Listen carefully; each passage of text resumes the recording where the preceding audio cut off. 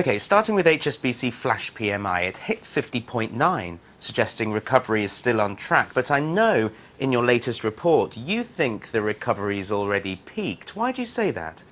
Uh, the PMI index did improve, but remember, it's barely above 50. It's actually quite weak by historical standards. And uh, also, it's not very well correlated with actual manufacturing activity in China.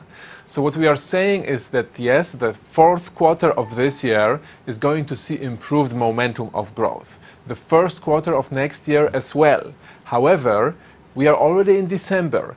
The pace of Chinese expansion sequential quarter-on-quarter GDP growth is peaking, either in this quarter or in the first quarter of next year. And from then onwards, it will gradually decelerate. So the recovery that we are seeing is not as strong as it was during the Lehman crisis. It's much more gradual because Chinese policymakers are not aiming at double-digit GDP growth anymore. They are content expanding between 7 and 8 percent.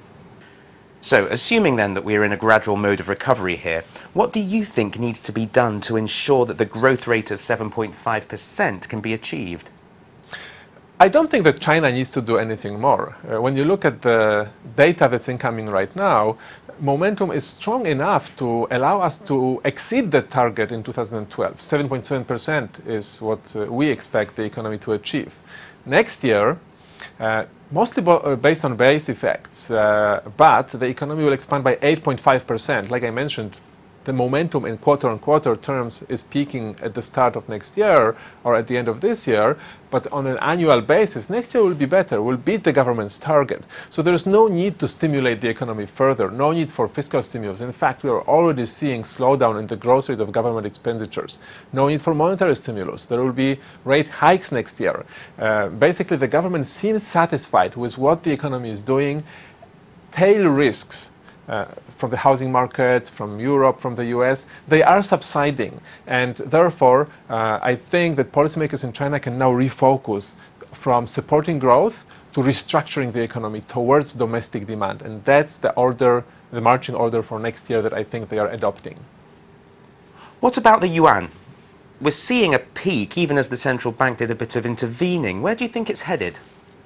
Well, um, it's a currency that has had a relatively good run over the past few months, but uh, since mi the middle of November, uh, gains have kind of petered away, and uh, we are now seeing signs of stabilization, or perhaps even a small correction. And that's not surprising because the, the rally in September, October was really strong, and we think that towards the end of the year, a little bit of more, more of correction is likely.